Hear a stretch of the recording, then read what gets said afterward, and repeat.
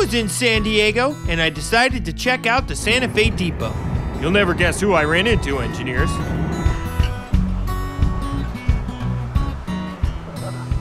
Oh, oh, oh, hey guys. Hi, Bob. Hey, Bob. Welcome to San Diego Santa Fe Depot. Good to be here. This place is so cool. Come on, let's go take a look. Yeah, okay.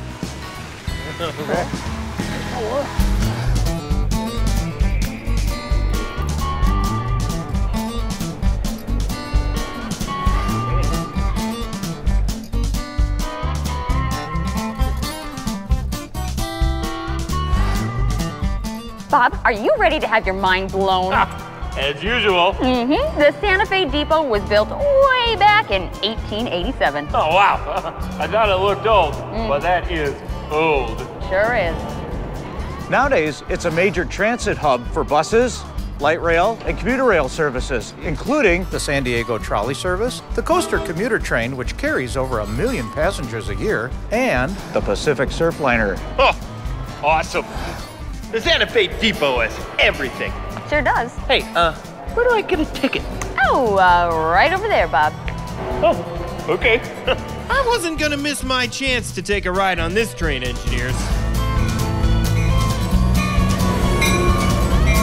Whoa! The Amtrak Surfliner!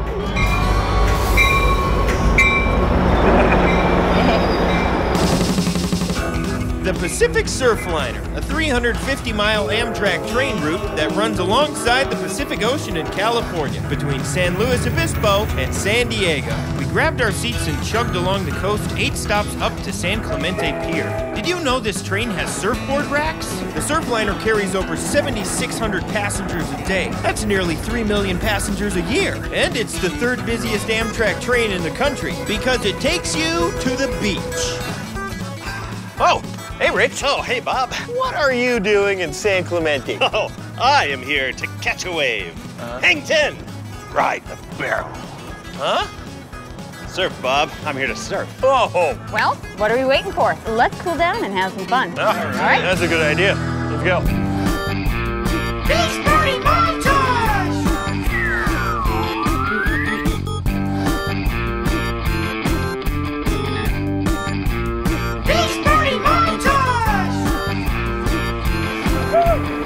There's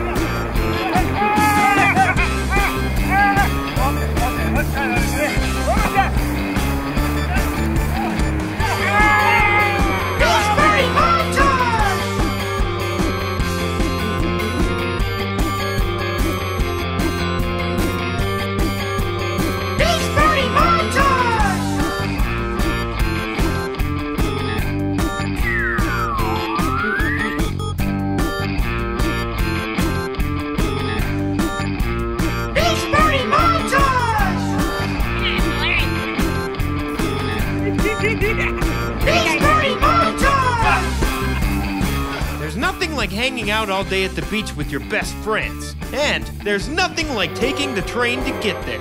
The Amtrak Surfliner. I can't wait till next time.